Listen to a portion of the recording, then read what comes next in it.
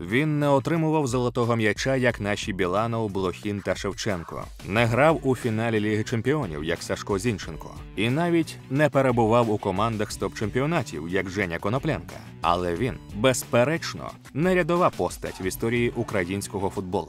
Йому вдалося зробити собі гучне футбольне ім'я паралельно з репутацією гольвіси бешкетника за межами футбольного поля. Новини про забиті ним голи завжди знаходилися по сусідству з новинами про розбиті дорогі автівки чи жіночі серця.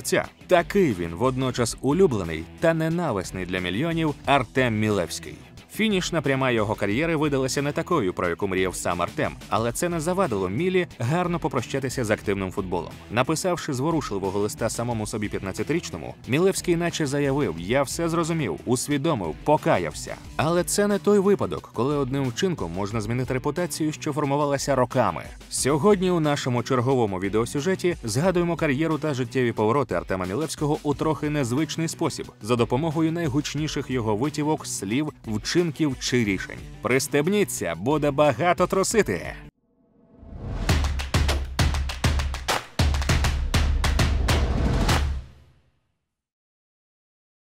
Паненка на чемпіонаті світу. Певно, розпочати треба зі славнозвісної паненки у післяматчевій серії поєдинку чемпіонату світу зі Швейцарією. Тоді 21-річний хлопець виконав свою спробу із заздрісною навіть для вкрай досвідчених гравців холоднокровністю. Звісно, можна говорити, що цей вчинок обмежений територією футбольного прямокутника, тож його варто відділяти від інших нефутбольних витівок мілі. Але чи правильно це? Багато хто й досі вважає, що стиль того пенальті якнайкраще описує характер Мілевського у повсякденному житті: зухвалий, сміливий, епатажний. Чотири голи у двох матчах у ворота Спартака. Віктора Леоненка досі запитують про голи у ворота Барселони. А Мілевський доскону може пишатися голами у ворота вічного та принципового суперника Динамо Спартака. До того ж, це були два дублі у двох матчах кваліфікації Ліги Чемпіонів, які закінчилися нищівним розгромом москвичів. Тоді також феєрив Олександр Алієв, після чого за гравцями остаточно закріпилася слава солодкої парочки українського футболу. Подожди, еще в Минске, блядь, при- приедем.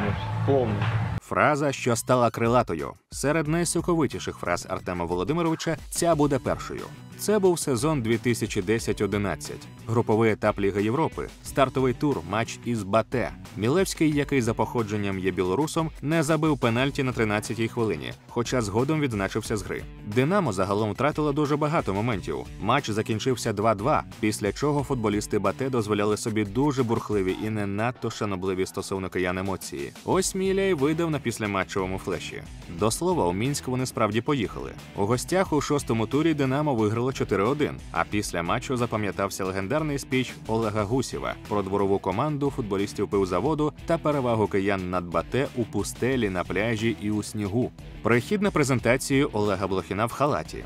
Артем каже, що так сталося випадково. Мовляв, просто не встигав до приходу легенди у конференц-залу, тому не став вдягатися по-діловому чи у спортивне, а накинув халата. А в інтернеті вже роздули. Гуділо справді довго. Блохін, якого на той час тільки представили тренером Динамо, сильно образився на Мілевського та навіть відправив його в дубль. Але каденція Олега Володимировича у столичному клубі не була тривалою, тож згодом Мілевський знову повернувся до складу. Цікаво, що у серпні поточного року Мілевський у присутності Зеленського вибачився перед Блохіним за 0-4 від Іспанії та інші непорозуміння і конфлікти, що тягнулися дуже довго. Але конкретно про інцидент з халатом жодного слова.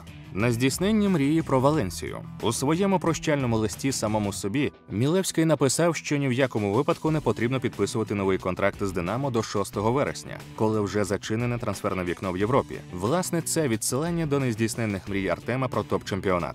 Він та його товариш-агент Панков неодноразово заявляли, що футболістом цікавилися представники серії А, Ла Ліги і навіть АПЛ. На горизонті, начебто, були Фіорентина, Вестгем і Порту.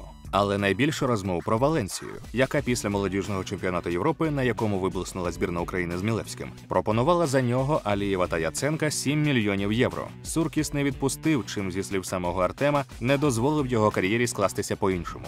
Секс із Тіною Канделакі. Так і кортить сказати про роман з відомою телеведучою та медіаменеджеркою. Але зі слів самого Мілевського, це була просто інтрижка на вечір по молодості, як характеризував це сам Артем. Цікаво, що через деякий час по тому сама Канделакі теж відповідала на запитання про Мілевського і не спростувала, що у них був інтим, але завуальовано соромила його, мовляв, таким не хизуються. Однак для Мілі нічого неможливого немає. Образ його мачо від цього не постраждав. Спалений Мазераті та розбитий Феррарі. Уже сам факт того, що в назві цього підпункту згадуються дві марки відомих та дорогих авто, багато про що говорить. Як справжній чоловік, Мілевський любить футбол, гарних жінок та вишукані автомобілі. Але останнім не завжди щастило. У Києві згоріла Мазератті Квантропорте, можливо, через підпал. А в історії фігурував одіозний Денис Адлейба. У Туреччині вже сам Мілі розбив Феррарі, коли мчав об'їзною дорогою Газіантепа. Артем розповідав, що нахилився за перемикачем, який лежав у бардачку. ЗМІ ж писали, що поліція виявила у крові футболіста 1,31 проміли алкоголю.